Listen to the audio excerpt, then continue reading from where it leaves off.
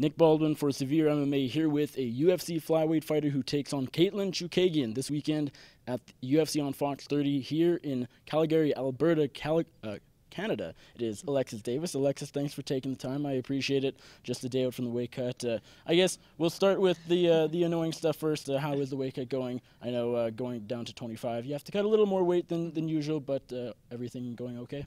it's going great. well, I just have to actually stay on a diet this time. I could get away with a lot more at 35. I could eat junk, you know, just obviously, you know, in proportions with doing 35. So I just have to be a little bit smarter. But uh, I'm already almost almost on weight. I'll do a little bit of cutting tonight, and then I should be good do you feel better at 125? You, have gotten a few, a couple wins down there already.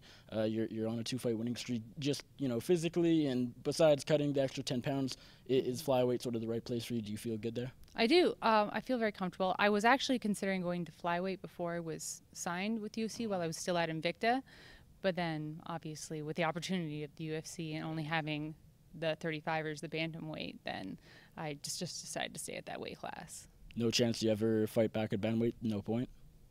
Yeah, there's always a chance. You know, I don't. Uh, I don't really. Um, a fight's a fight for me. it doesn't matter what weight class.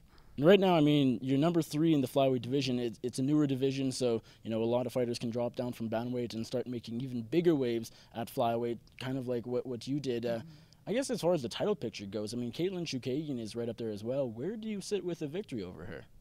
Uh, I think you know it's gonna put me right up, you know, if not next in line, one more fight, and you know, it just puts me that one step closer. But really, just right now, I'm just trying to stay focused on the task at hand.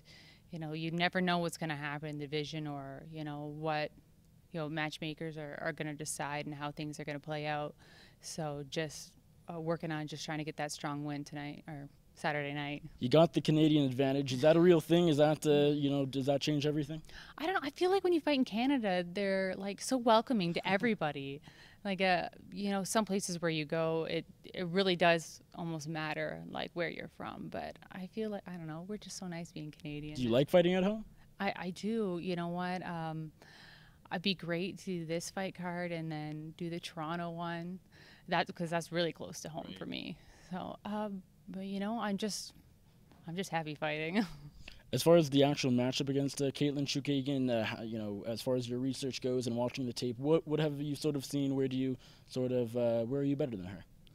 Uh, she's a great fighter, uh, great great stand up. She's got that long reach and she uses it uh, very well, like long legs. Uh, she keeps on the outside, so uh, I could say most people are like, well, your advantage is on the ground, but it's hard to really say because she's a brown belt as well. She's no slouch. So just because she hasn't had as many opportunities or you know has really worked her stand up more than anything, you can never can never expect anything, sure. especially in a fight.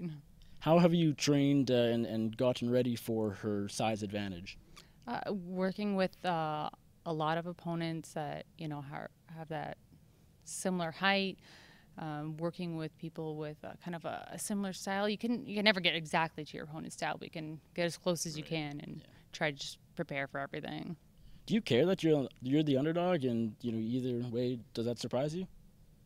No, no, I don't even look at that stuff. I'm like, I actually prefer to be the underdog more than anything. Takes pressure off you. Yeah, you know, you know what? It's I'm I can win any fight as long as I'm if I fight my fight. That's how that's how I like to believe. You know, as long as I believe in myself, then I have to win. Do you have any clue why the odds makers have Chookagian favored over you? Any sort of reason you can come up with? Oh. Uh, I'm I'm not sure. Uh, That's a question for them, not you. Yeah. I'm like ah, I don't even worry about it. What do you think about the title picture? I know you, you, you said earlier you're pretty close with a win over Chookagian mm-hmm. on Saturday, but we have a, a title fight finally announced. Nicco Montaño and, and Val- Valentina Shevchenko will, will go toe to toe in September in Dallas. So, what do you make of that matchup? Shevchenko, of course, is a big favorite. Mm-hmm. Uh, what, what, do you make of that? And I guess, you know, who who who is the early pick? Uh, I'm just really, I'm just excited that they finally have a, a title fight, like actual match that's yeah. coming up. You know that it's been rumored, and they're like, oh, like actually was I've heard that they were going to put it on this card, and then things didn't fall through. So I'm just really excited that we can kind of get this division starting to go.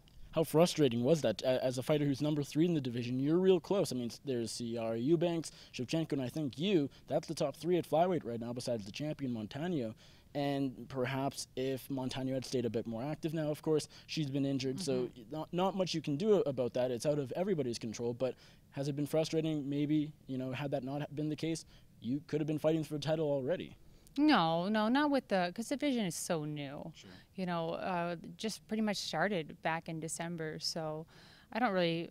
I feel like they were still just trying to figure out. There's no rush. Yeah, where everybody was going to lie in the rankings, and you know, there's still a lot of things that I imagine that they're tweaking. So, I, you know, just t- kind of take them as they come and see what happens. How much of a chance do you give uh, Montano, the the champion? And listen to this: uh, she is the uh, the biggest underdog opening underdog as a UFC champion in history, which is pretty crazy. But do you do you give her a shot? Of course, of course you can. You know, she's got a great ground game, and you know, she's obviously it's it's hard because MMA is a different style than like Muay Thai, but you can never give oh man, a disadvantage to either one of them, and either either set of style because look we had um, Valentina come out with that armbar victory. Right.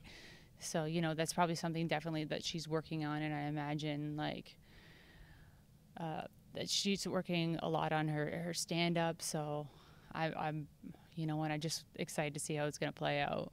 What's it been like these past uh, few fights fighting as a mom? I know uh, we, we talked right out, or you know, a little while after you, you had your son, and you've had a few fights since then. What has that been like, sort of dealing with? Well, I need a babysitter. At least you know, figuring that all out. Has that been complicated or pretty easy? Uh, no, complicated for sure. Especially like um, man, being a mom. If anybody else is watching, they they know with like things change so much with kids. I think I got it down, and then it changes all over again. Uh, but you know what? I, that's I just you know he may be only two, but thank God for like his patience. Like I feel bad. Obviously, that mom guilt being gone, especially like at fight camp, because you have to commit so much of your time. But it's just all about scheduling and just trying to get. You know, I may not work out as much as I used to, but uh, just better quality workouts. I just have to, and you know it is better for my body too. That has to be the best feeling going home after a fight. You, you don't need to train every day for the next little while until you get another fight, and just being able to spend time with him that must be fantastic. Yeah, we already we're like already thinking about things that we're gonna do after the fight, places we're gonna go, and you know just spend some good quality time together. Is he here or did he stay home? No, no, no. He stays home. He's my son's too crazy. He would be chasing him. That'd be my cardio workout. Would be chasing him around the hotel. Maybe when he's older, if you're still fighting. Yeah, yeah, for sure. Um, yeah, just two two's a, a tough age for sure. I think for a little boy for UFC. Yeah, for a little boy with so much energy.